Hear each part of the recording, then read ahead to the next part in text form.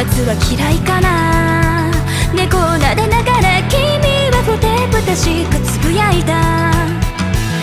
ああ逃げ出した猫の後を追いかけて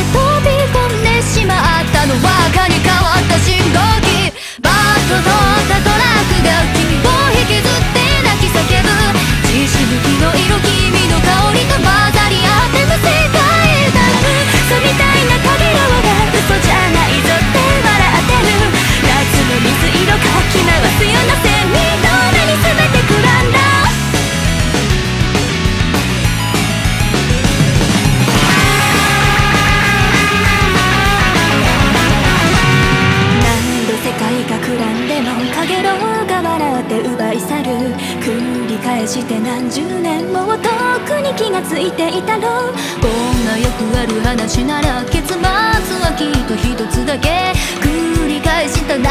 の日の向こう